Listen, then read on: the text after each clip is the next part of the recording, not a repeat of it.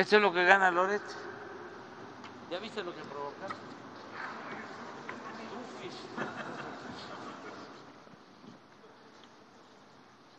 Esto es lo que gana Loret, lo que ganó el año pasado. Pero lo que me llama mucho la atención, y me lo va a tener que aclarar Televisa, los directivos de Televisa, es que se supone que ya Loret no está en Televisa. Y le dieron 11 millones 800 mil pesos el año pasado.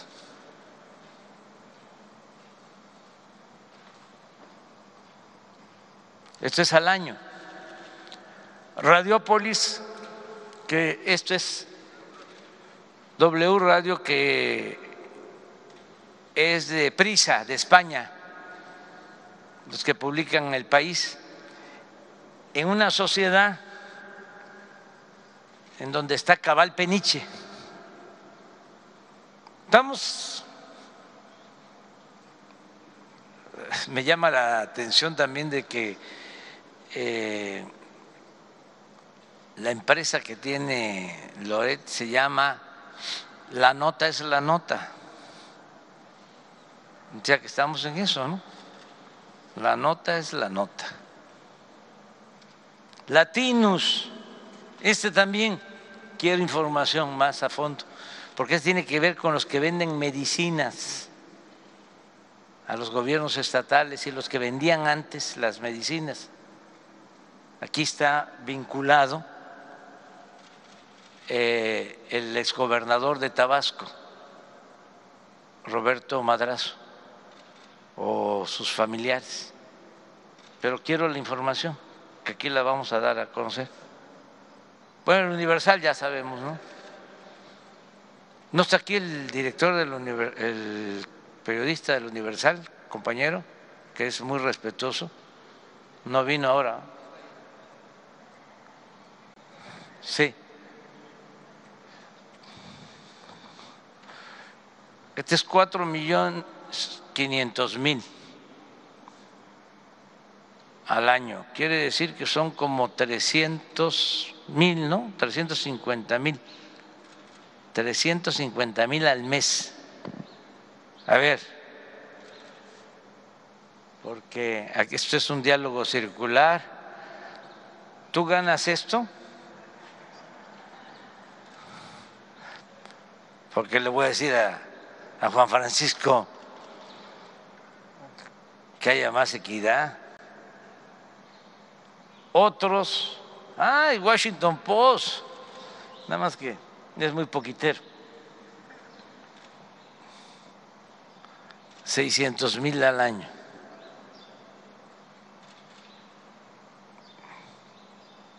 En total, en bruto, hay que ver si paga impuestos. Todo esto lo voy a pedir en el informe. 35 millones 200 mil. Pero para que la gente tenga una idea, que me da hasta pena, este, si lo comparamos, porque eh, gana más que yo, pero me da pena porque yo gano muchísimo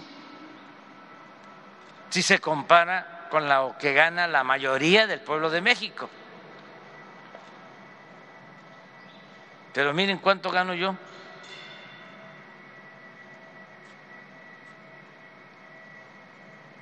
Bruto, anual, dos millones, once mil. Y él gana treinta y cinco millones, doscientos. O sea que él gana como 15 veces más que yo.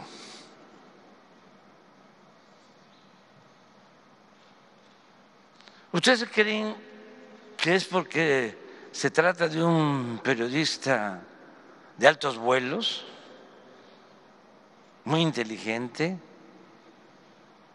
un buen escritor? No, es por golpeador.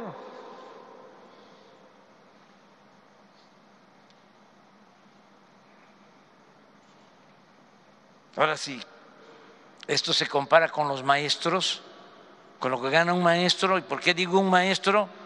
Porque este señor, junto con Claudio X González, se atrevió a hacer una película en contra de los maestros cuando querían imponer la mal llamada reforma educativa. Una, película que le llamaron de panzazo en contra de los maestros. Entonces voy a pedir que me den la información a detalle sobre esto,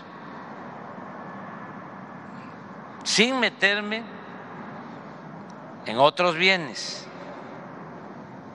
Nada más esto, por lo pronto, por ahora.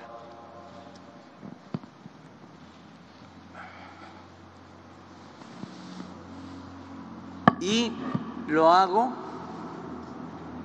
porque está de por medio de la transformación. Eso no es un asunto personal. Yo estoy bien con mi conciencia. Yo duermo tranquilo. Pero represento junto con muchos un movimiento de transformación para acabar con la corrupción en México y para acabar con las injusticias en este país. Y ese movimiento hay que defenderlo. De quienes se han beneficiado con el clasismo, con el racismo, con la discriminación, con el saqueo. Entonces, por eso estamos viviendo tiempos interesantes. No tenemos que quejarnos. Es un momento estelar en la historia de México. Es un proceso de transformación. Y vámonos adelante a la confrontación de ideas, al diálogo, al debate y todo, este, a transparentarlo. ¿Ustedes creen que los mexicanos sabían de esto antes? Nadie. Porque había un contubernio de poder. La mayoría de la gente que nos está viendo, si hacemos una encuesta, le preguntamos a los mexicanos, ¿tú sabías que un periodista ganaba 30, 32 millones de pesos o que ganaba el equivalente a 2 millones de pesos al mes? o dos millones y medio de pesos al mes, ¿sabías?